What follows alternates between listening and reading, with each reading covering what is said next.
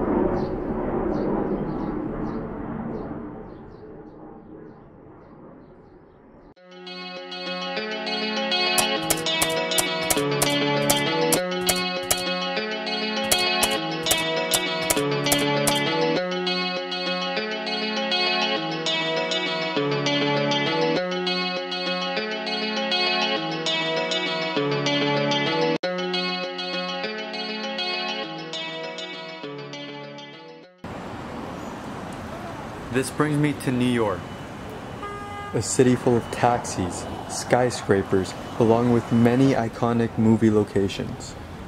New York is filled with so many large attractions, and they're all at a filmmaker's disposal.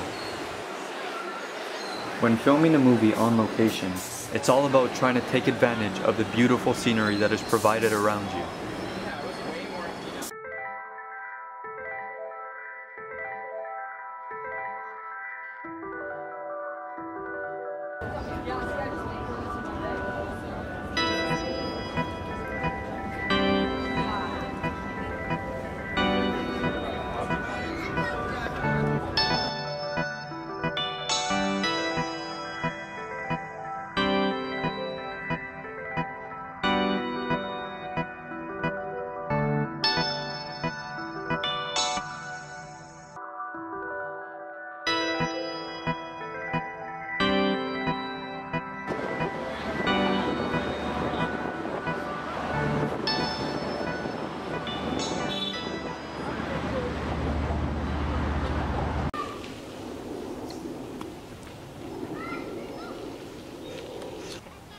Central Park and Times Squares is usually used in filmmaking because they have such a beautiful and scenic feeling to them. So most filmmakers want to use them in their films. So for Central Park, it's all greenery everywhere. It's very beautiful. There's so much grass and trees. So it's I think it's the only nature that I saw in New York. So many filmmakers would want to use that because of how beautiful and nature-y it is and Times Square is a very iconic spot in New York. Everybody goes to see it because it's just so famous. So using that in a film would just show everybody that they're in New York without even having to state that the characters are or the scenery is set in New York.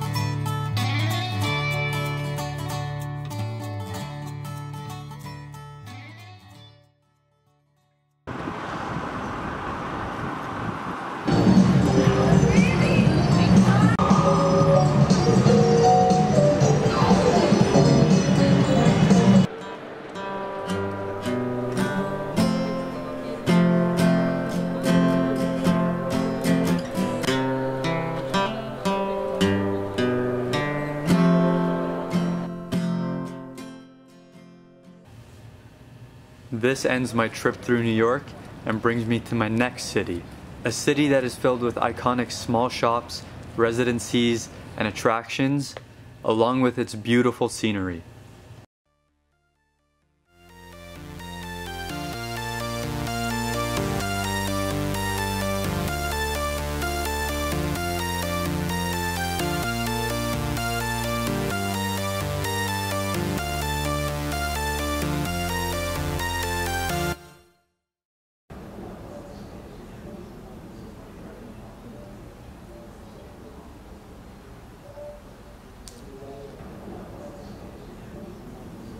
Are you familiar with any locations within Los Angeles that have been used as a backdrop or a set for films? Um, yeah, there's been uh, quite a number of films done in Los Angeles over the past century, uh, being that it was the um, you know the mecca of Hollywood filmmaking. Um, the um, for instance, Griffith Observatory was, uh, was, was famous for uh, its role in Rebel Without a Cause with Natalie Wood and James Dean.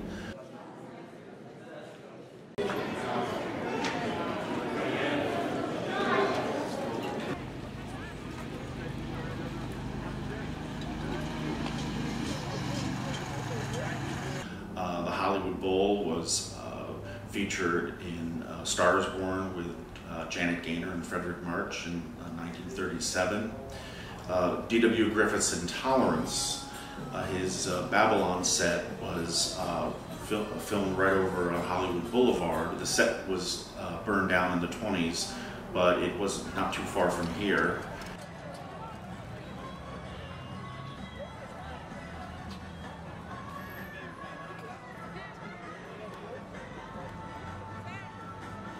Um, there are still some uh, studios that are still around. The Jim Henson Studios, it was uh, the former Char uh, Charlie Chaplin Studios, and the Lot, uh, which isn't too far from there, is the former United Artists Studios.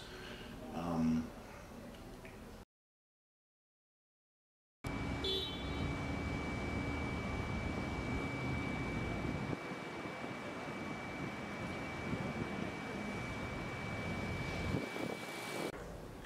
right now, um, the, at the Lasky DeMille Barn, the home of the Hollywood Heritage Museum, uh, was where they filmed uh, the first feature-length film in Hollywood called The Squaw Man. Cecil B. DeMille and Jesse Lasky came from the East Coast to film uh, the Broadway uh, play, The Squaw Man, with Dustin Farnum, who was on the uh, stage in New York, and they um, had a budget of like $20,000 and, and pretty much uh, made 10 times over that amount. And so much so that they were able to build a studio around the barn and eventually uh, the barn and the studio uh, became Paramount Pictures, uh, the studio that we know today. So this um, structure is very historic in that sense. And Paramount Pictures today over in Melrose is the only major studio uh, still in Hollywood that um, is from the from the um, original time when it was founded. It's the only studio in Hollywood that's still around.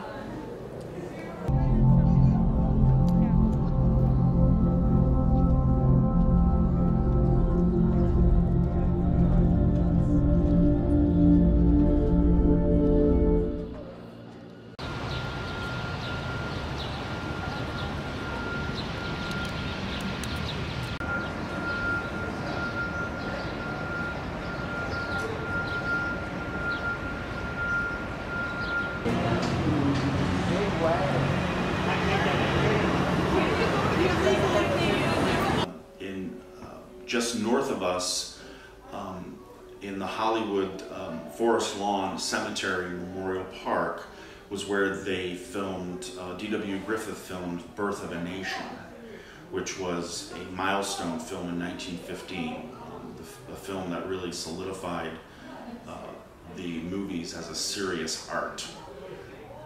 They filmed the uh, battle scenes on the slopes, which you can still see, because the hills are still there. In Los Angeles, two very iconic spots are the Santa Monica Pier and Venice Beach.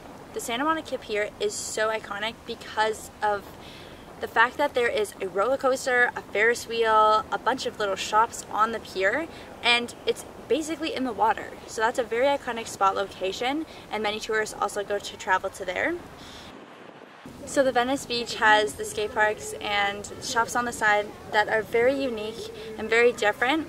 And the beach is very beautiful because it is located in the Pacific Ocean. There is um, salt water and there's some rocks that are there and it's just so beautiful and people love to go there. That body cold chest thing like a pond for me. She wanna vibe with me, kick it and vibe with me. I got the long clip the slate to the moon. And Cartier boots, no top, yeah I took off the. I'm high, I'm woozy.